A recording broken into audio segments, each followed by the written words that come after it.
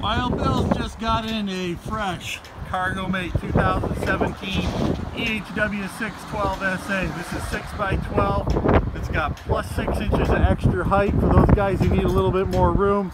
Got the anniversary package on it, so it's going to have the upgraded sheet metal, the two-tone metal. It's going to have the diamond plate stripe on the side, radial tires, upgraded rock guard, flush lock side door. It's going to have rear stab jacks, ramp door.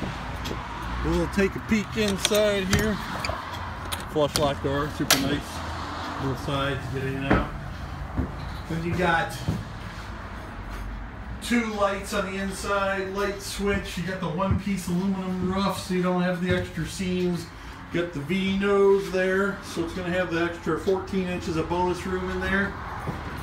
So, of course, rear stab jacks that swing down so you can stabilize the rear of the trailer when it's not connected to the truck if you want to load and unload it. And uh, got the 3,000 pound uh, tongue jack, 2 inch coupler, and it's rated at 2990, 3,500 pound axle. It's been derated and it is ready to go. 2895. Come and get it.